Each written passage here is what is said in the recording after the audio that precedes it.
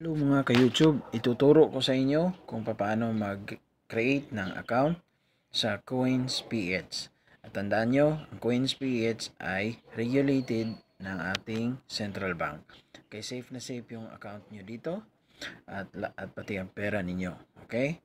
Tandaan lang, pag gusto nyo sasali sa mga trading, uh, ingat-ingat lang kasi yung price ng uh, mga cryptocurrency natin ay taas baba. So may posibleng bababa yung uh, pera mo dahil sa pagbaba din ng uh, currency. Okay.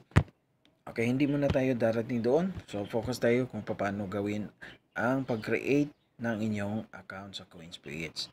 Okay, ito yung uh, pinapakita ko lang sa inyo ang wallet ko. Okay. Ganito yung mga YouTube. Pupunta kayo doon sa Google o doon sa apps, Google Apps at makikita nyo doon ang uh, CoinsPH wallet. At pipindutin nyo yun para mag-download. Or pag nandito kayo sa Google na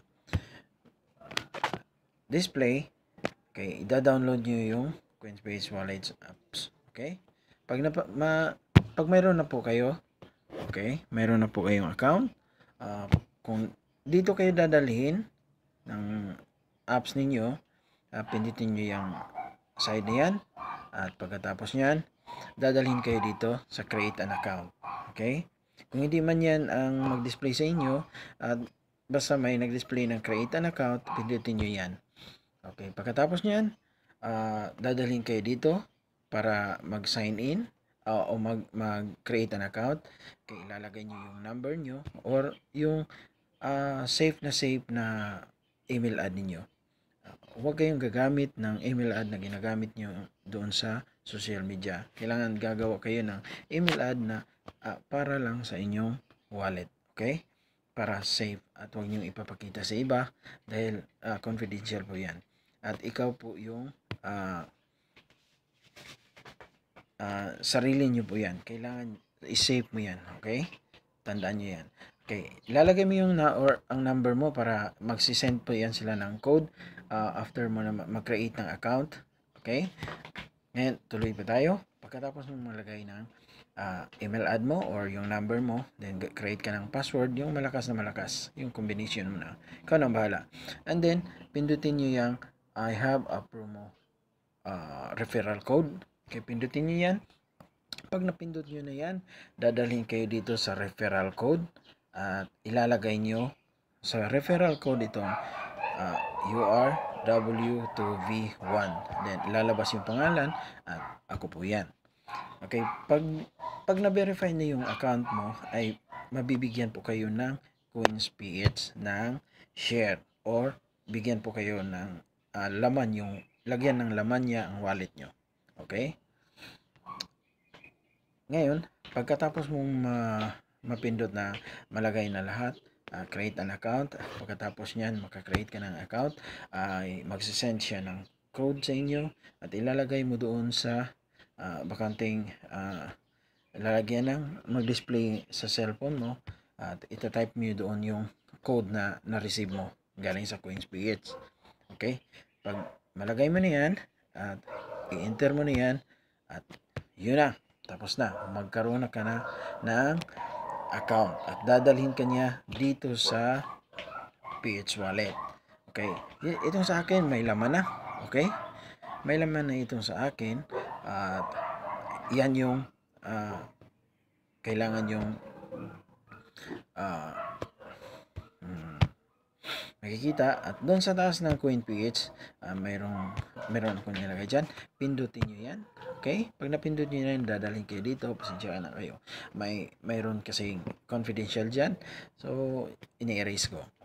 So, at para ma-verify ang iyong account na ma-verify nyo talaga, uh, dadalhin kayo dito sa coins page at pindutin nyo yung limit and verification. Pag napindot nyo na yan, dadalhin, dadalhin kayo dito. Okay, makikita nyo yung limits, your limits ako ay level 2 na ako at kayo kung hindi pa niyo na kumpleto ang limits o ang form na mapipilapan niyo para tataas yung limits niyo ay ito yung makikita niyo sa level 1. So, yung level 1 niyo ay ma-verify po yan at pag ma-verify na po yan, makakalagay po yan ng completed. Pero kung gusto niyo talagang makumpleto talaga yan, ah, kailangan niyo ah, pindutin lahat ng slot dyan sa level 2 phone verification, okay, mayroon na.